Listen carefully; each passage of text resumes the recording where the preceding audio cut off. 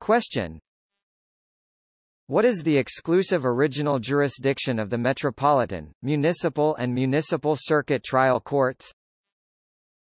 Answer the Metropolitan, Municipal and Municipal Circuit Trial Courts exercise exclusive original jurisdiction over the following 1. Actions involving personal property valued at not exceeding 300,000 pesos outside Metro Manila and not exceeding 400,000 pesos within Metro Manila 2. Actions demanding sums of money not exceeding 300,000 pesos outside Metro Manila and not exceeding 400,000 pesos within Metro Manila, exclusive of interest, damages, attorney's fees, litigation expenses and costs 3. Actions in admiralty and maritime jurisdiction where the demand or claim does not exceed 300,000 pesos outside Metro Manila and does not exceed 400,000 pesos within Metro Manila, exclusive of interest, damages, attorney's fees, litigation expenses and costs